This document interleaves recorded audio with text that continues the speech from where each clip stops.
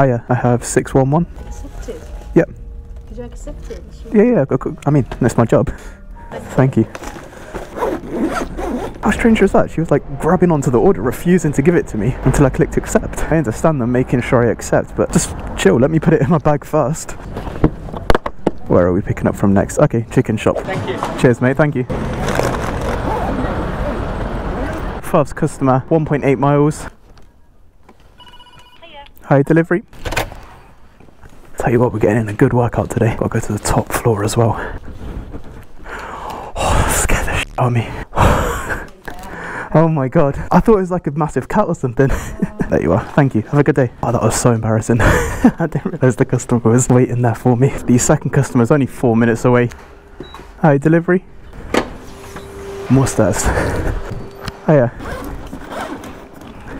There you are. Thank you. Enjoy.